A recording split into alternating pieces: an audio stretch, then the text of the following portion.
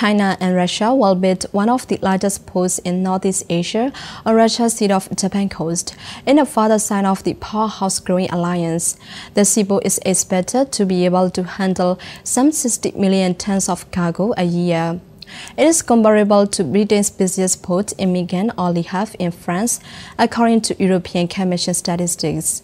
The newly facility will be located in far eastern Russia, just 18 kilometers away from the Chinese border.